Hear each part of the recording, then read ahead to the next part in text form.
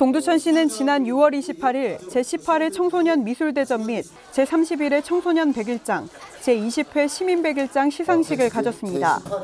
청소년 수련관 공연장에서 열린 시상식은 지난 5월 16일 소요산 야외음악당에서 동두천 예총이 주최하고 문인협회 동두천 지부와 미술협회 동두천 지부가 공동 주관하는 제31회 청소년 백일장 및 제18회 청소년 미술대전에 참여한 수상자들을 위한 시상식으로 청소년 미술대전 수상자 44명, 청소년 백일장 및 시민 백일장 수상자 59명에 대해 시상했습니다.